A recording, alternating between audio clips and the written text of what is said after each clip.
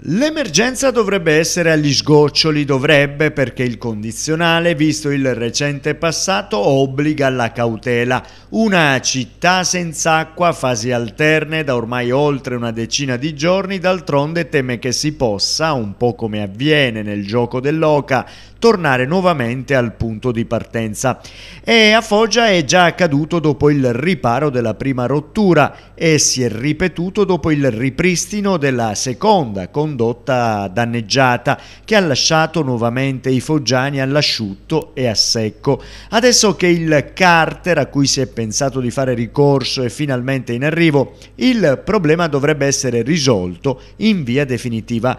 Nel frattempo sono ancora tanti quelli che abitando ai piani alti e in assenza di autoclave, lamentano ancora disagi. I lavori intanto proseguono e da Acquedotto Pugliese fanno sapere che entro la nottata installeranno un carter metallico realizzato su misura e al termine della lavorazione si provvederà alla graduale riapertura dell'erogazione idrica dopo i necessari lavaggi. Attualmente l'alimentazione è assicurata dai bypass e il regolare ripristino dell'erogazione idropotabile potabile è previsto nella giornata di sabato. Nel frattempo prosegue la distribuzione con autobotti nei vari punti della città.